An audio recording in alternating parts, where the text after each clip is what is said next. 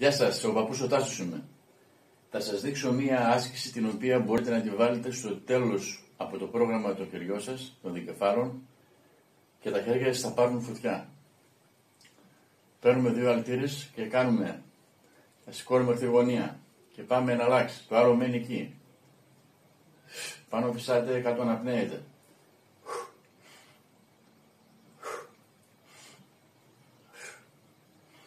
Πέντε επαναλήψεις στο κάθε χέρι. Ελεγχόμενα τα κιλά.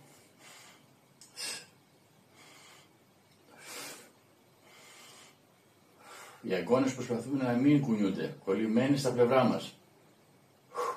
Τώρα και τα δύο μαζί.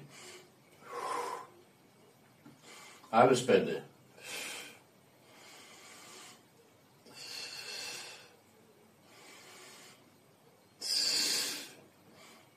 Και πάλι ένα λάξ.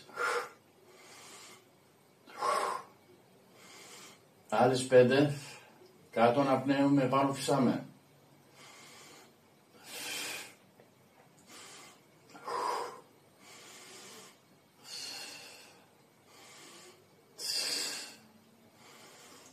Yeah.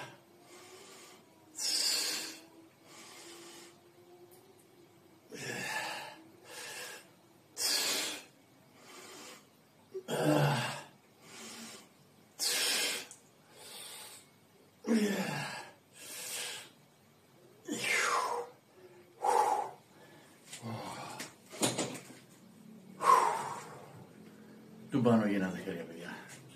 Πέτρα. Κάντε δύο σετ από τις ασκήσεις που σας έδειξα και τα χέρια σας θα πάρουν φωτιά, θα γίνουν τούμπανο.